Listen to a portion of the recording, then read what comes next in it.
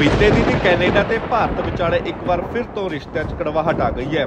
ਸੋਮਵਾਰ 14 ਅਕਤੂਬਰ ਨੂੰ ਕੈਨੇਡਾ ਸਰਕਾਰ ਵੱਲੋਂ ਨਿੱਜਰ ਕਤਲकांड ਮਾਮਲੇ 'ਚ ਭਾਰਤੀ ਹਾਈ ਕਮਿਸ਼ਨਰ ਸੰਜੇ ਵਰਮਾ ਨੂੰ ਪਰਸਨ ਆਫ ਇੰਟਰਸਟ ਐਲਾਨ ਦਿੱਤਾ ਜਿਸ ਮਗਰੋਂ ਭਾਰਤੀ ਵਿਦੇਸ਼ ਮੰਤਰਾਲੇ ਨੇ ਸਖਤ ਕਾਰਵਾਈ ਕਰਦੇ ਹੋਏ ਸੰਜੇ ਕੁਮਾਰ ਨੂੰ ਵਾਪਸ ਬੁਲਾ ਲਿਆ ਇਸ ਤੋਂ ਮਗਰੋਂ ਭਾਰਤ ਨੇ ਇੱਕ ਹੋਰ ਸਖਤ ਕਦਮ ਚੁੱਕਦੇ ਹੋਏ ਕੈਨੇਡਾ ਸਰਕਾਰ ਦੇ 6 ਰਾਜਦੂਤਾਂ ਨੂੰ 19 ਅਕਤੂਬਰ ਤੱਕ ਭਾਰਤ ਛੱਡਣ ਦੇ ਆਦੇਸ਼ ਦੇ ਦਿੱਤੇ ਨੇ।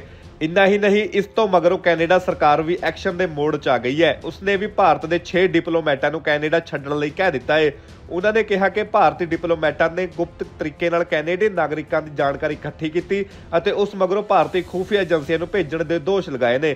ਉਹਨਾਂ ਨੇ ਕਿਹਾ ਕਿ ਇਹ ਗੁਪਤ ਜਾਣਕਾਰੀ ਭਾਰਤ ਸਰਕਾਰ ਅਪਰਾਧਿਕ ਤੱਤਾਂ ਨੂੰ ਦਿੰਦੀ ਹੈ, ਜੋ ਕੈਨੇਡਾ 'ਚ ਅਪਰਾਧਾਂ ਨੂੰ ਅੰਜਾਮ ਦਿੰਦੇ ਨੇ।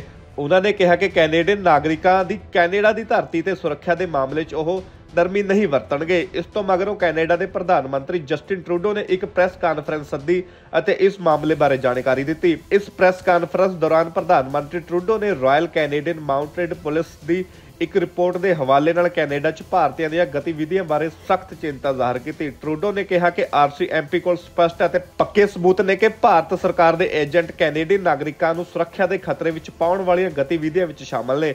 ਇਹਨਾਂ ਗਤੀਵਿਧੀਆਂ 'ਚ ਗੁਪਤ ਤਰੀਕੇ ਨਾਲ ਦੱਖਣੀ ਏਸ਼ੀਆਈ ਕੈਨੇਡੀਅਨਾਂ ਖਾਸ ਤੌਰ ਤੇ ਸਿੱਖਾਂ ਨੂੰ ਨਿਸ਼ਾਨਾ ਬਣਾਉਣਾ ਸ਼ਾਮਲ ਹੈ ਤੇ ਅਜਿਹਾ ਕਰਕੇ ਭਾਰਤ ਦਾ ਕੈਨੇਡਾ ਨਾਲ ਕੂਟਨੀਤਿਕ ਵਿਵਾਦ ਵਧਦਾ ਜਾ ਰਿਹਾ ਹੈ। ਟਰੂਡੋ ਨੇ ਅੱਗੇ ਦੱਸਿਆ ਕਿ ਕੈਨੇਡੀਅਨ ਅਧਿਕਾਰੀਆਂ ਨੇ ਇਸ ਮਾਮਲੇ 'ਚ ਭਾਰਤੀ ਅਧਿਕਾਰੀਆਂ ਤੋਂ ਸਹਿਯੋਗ ਕਰਨ ਦੀ ਮੰਗ ਕੀਤੀ ਸੀ, ਪਰ ਇਹਨਾਂ ਕੋਸ਼ਿਸ਼ਾਂ ਨੂੰ ਨਕਾਰ ਕਰ ਦਿੱਤਾ ਗਿਆ।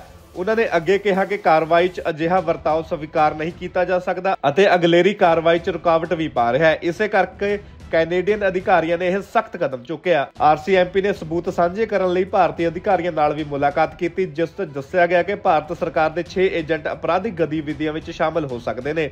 ਉਹਨਾਂ ਨੇ ਅੱਗੇ ਕਿਹਾ ਕਿ ਭਾਰਤ ਤੇ ਕੈਨੇਡਾ ਵਿਚਾਲੇ ਲੰਬੇ ਸਮੇਂ ਤੋਂ ਸ਼ਾਂਤੀਪੂਰਨ ਦੋਸਤਾਨਾ ਸਬੰਧ ਰਹੇ ਨੇ, ਪਰ ਮੌਜੂਦਾ ਹਾਲਾਤ ਨੂੰ ਦੇਖਦੇ ਹੋਏ ਅਸੀਂ ਪਹਿਲਾਂ ਵਾਂਗ ਵਰਤਾਓ ਨਹੀਂ ਕਰ ਸਕਦੇ। ਕੈਨੇਡਾ ਭਾਰਤ ਦੀ ਪ੍ਰਭੂਸੱਤਾ ਤੇ ਅਖੰਡਤਾ ਦਾ ਪੂਰਾ ਸਤਿਕਾਰ ਕਰਦਾ ਅਤੇ ਅਸੀਂ ਉਮੀਦ ਕਰਦੇ ਹਾਂ ਕਿ ਭਾਰਤ ਸਰਕਾਰ ਕੈਨੇਡਾ ਦੀ ਪ੍ਰਭੂਸੱਤਾ ਦਾ ਸਤਿਕਾਰ ਕਰੇ। ਇਹ ਮੇਰੀ ਜ਼ਿੰਮੇਵਾਰੀ ਹੈ ਕਿ ਮੈਂ ਉਹਨਾਂ ਲੋਕਾਂ ਨੂੰ ਸੁਰੱਖਿਅਤਾ ਦਾ ਯਕੀਨ ਦਿਵਾਵਾਂ, ਜੋ ਇਸ ਸਮੇਂ ਮੌਜੂਦਾ ਹਾਲਾਤ ਨੂੰ ਦੇਖਦੇ ਹੋਏ ਘਬਰਾਏ ਹੋਏ ਨੇ ਅਤੇ ਉਹਨਾਂ ਨੂੰ ਕਾਰਵਾਈ ਦਾ ਭਰੋਸਾ ਦਿਵਾਵਾਂ।